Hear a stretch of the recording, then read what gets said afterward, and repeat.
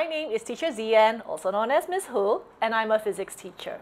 So in this video, I'm going to show you how to make your own model ripple tank at home using stuff you can easily find around the house.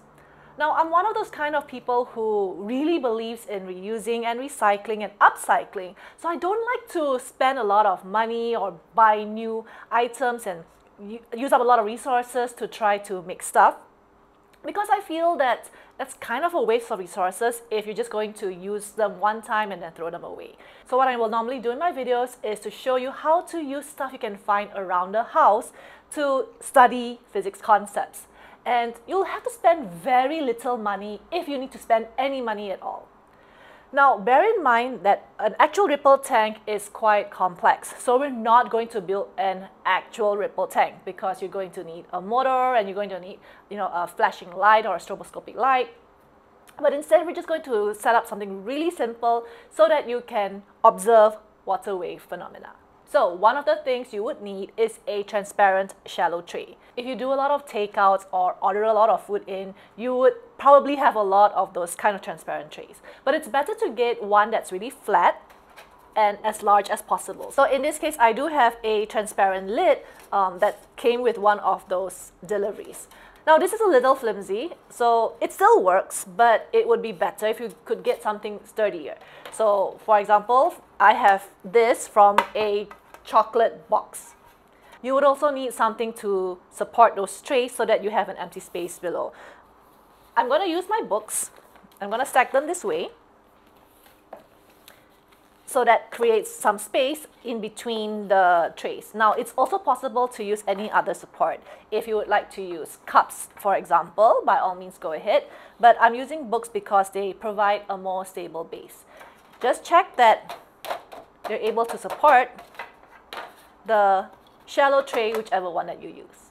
You would also need a lamp. If you don't have a lamp, you can also use a torchlight. So I'm going to use a table lamp because that way I don't have to keep holding the lamp over the model ripple tank. If you could get a lamp with white light, it would be even better. Mine is yellow light. It still works, though not as great. Also, for the best observation, get the surface underneath the ripple tank to be white in color so that you can see the shadows more clearly. If you don't have anything that's white, just get a piece of white paper to put underneath your tank and it will work perfectly fine.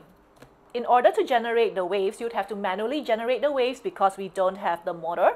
So get a ruler so that you can generate plane waves and a pencil if you like to generate circular waves. So how do we set up the ripple tank? It's really, really simple. So if you're using books, make sure the books are at the same height so that when you place your shallow tray, it's not, you know, going to spill over or anything like that. They should be at the same level. So whichever support that you use, if you're using cups, for example, then also make sure the cups are at the same level, right? So make sure that they're at the same level. Um, place your white piece of paper in between. Okay. And when you position the transparent tray, make sure that it's supported. So you don't want a situation where you're like, okay, I want to try to maximize the space in between. Then when you start doing anything, it falls off the uh, support. And because you're going to put water inside, that's going to cause water to spill everywhere. So as mentioned earlier, make sure that the books are at the same level so that they can support the transparent tray. And what I'm going to do now is I'm going to pour the water in carefully.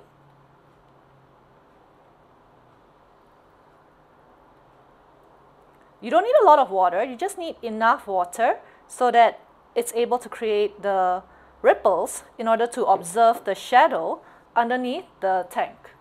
The purpose of the lamp is to provide light so that the shadows formed from the waves in the tank can be seen easily on the white card under the tank. So that's why I'm switching on the lamp right now. And here's the ruler which I'm going to use to create the plane waves. So let's have a quick test to see if we're able to observe the water waves under the tank. And as you can see, when I create the plane waves in the water inside that shallow transparent tank, you're able to see the shadow of the water waves really clearly on that piece of white card which I've placed under the tank. Let me show you now using the stiffer tray. It's pretty much the same thing. Honestly, it doesn't matter whether you use a very sturdy tray or whether you use something that's a little flimsy, as long as the tank is able to support the water without falling over. You know, that's really important. So if I take the ruler again and I create the ripples, you'd be able to see the shadow of the waterways formed under the tank on a piece of white card. If we wanted to create circular waves, we just need to take a pencil or you can even use your own finger really and just tap on the surface of the water and you'll be able to see circular waves.